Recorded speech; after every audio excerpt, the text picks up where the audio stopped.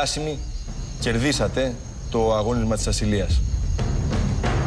Από σήμερα λοιπόν θα μάθετε για ένα καινούριο έπαθλο.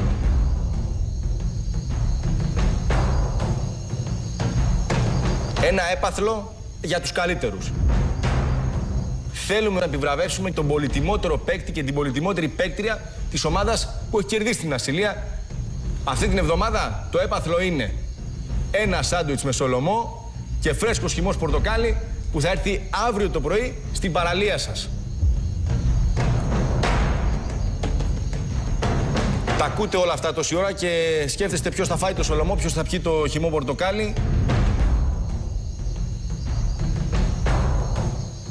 Θα το μάθετε τώρα, γιατί ο πολυτιμότερος παίκτης των διασύμων για αυτή την εβδομάδα είναι ο Γιάννης Τσίλης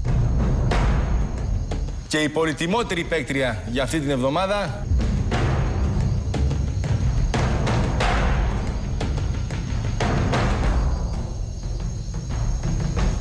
είναι η Κατερίνα Δαλάκα.